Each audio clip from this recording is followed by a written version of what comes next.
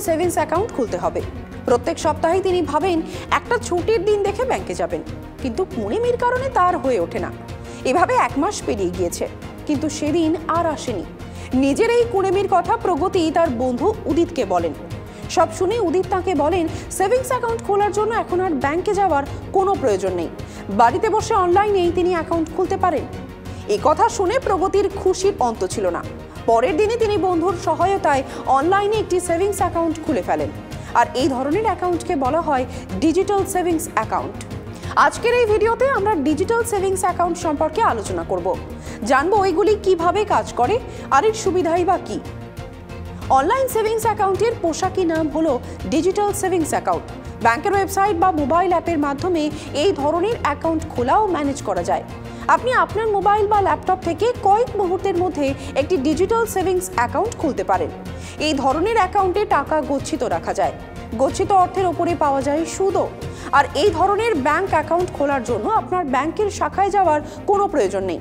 দরকার নেই একগাদা ফর্ম পূরণ করার। ব্যাংক অফ ইনটেক কোম্পানিগুলি এই ধরনের অ্যাকাউন্ট খোলার সুবিধা দিয়ে থাকে।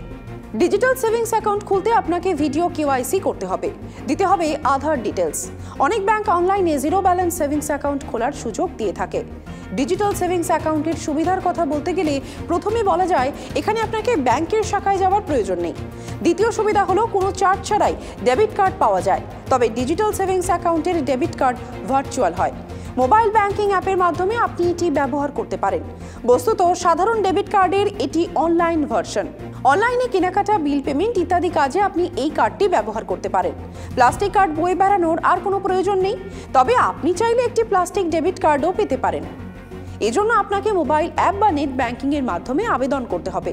আবেদন করা যাবে কাস্টমার কেয়ার নাম্বারে ফোন করে। তবে পেপার কার্ড নিলে আপনাকে ইন্স্যুরেন্স ফি এবং অ্যানুয়াল ফি গুনতে হবে। ডিজিটাল সেভিংস অ্যাকাউন্টে আরও একটি বড় সুবিধা আছে।